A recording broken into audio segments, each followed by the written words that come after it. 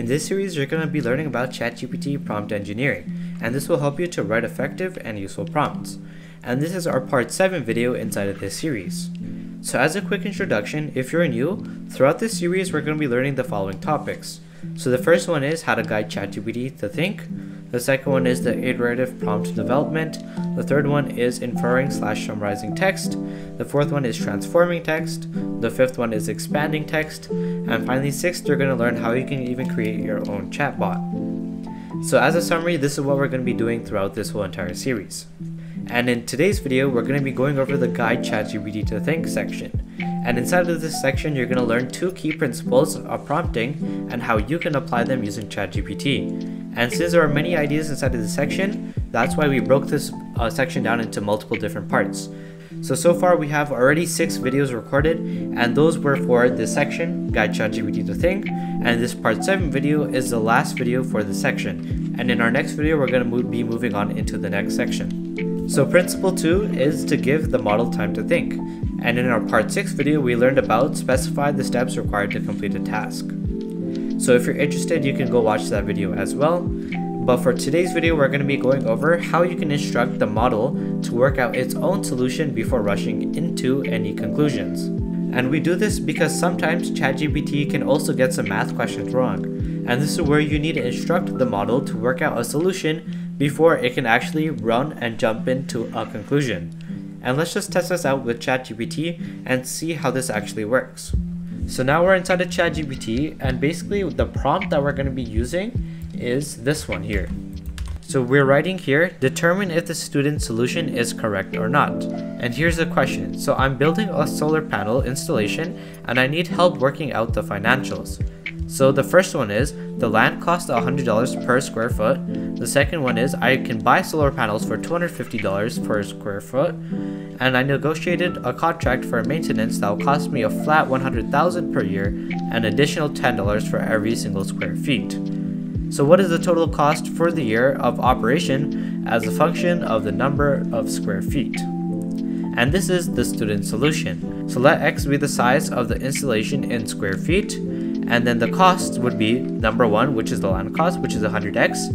And that's true because uh, per square feet, we're paying $100. So land cost is 100x. Solar panels 250x. The maintenance cost would be 100,000 plus 10x. So this all is correct. But then here, the student's total cost is incorrect. Here we're saying that it's 100x plus 250x plus 100,000 so starting from here is where we have the problem.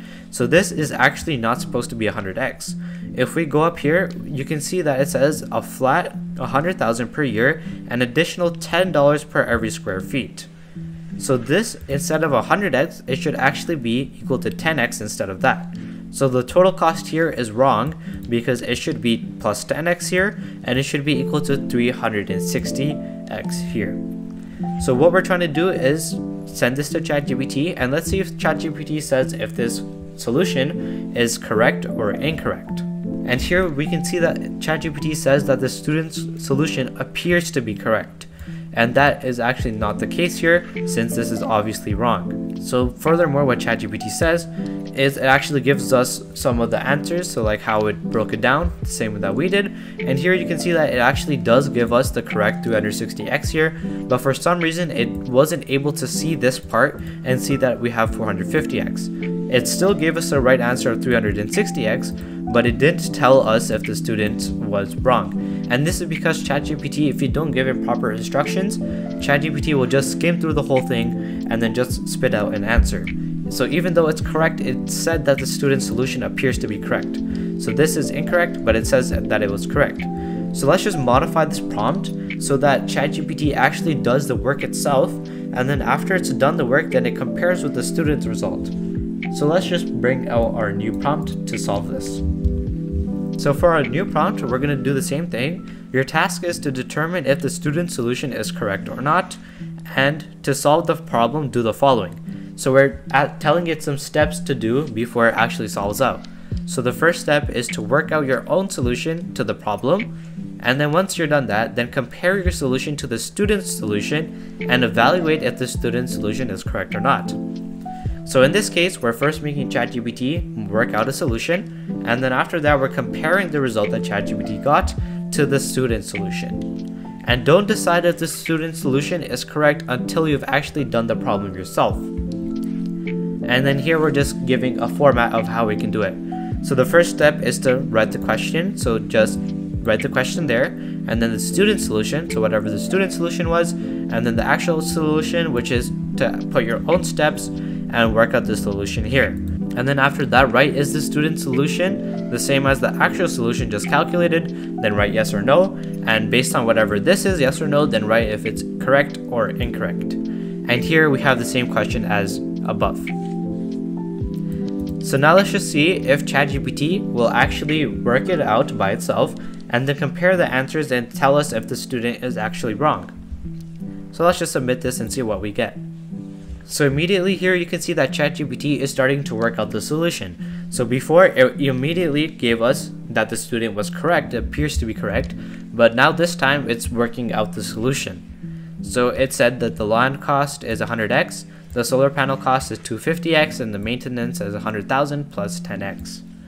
And then it said adding this together, we get the total cost for the year of operation, which is 100x plus 250x plus 100,000 plus 10x. And, and here you can see that the solution is actually correct, which is 360x plus 100,000. And this 10x is also correct too.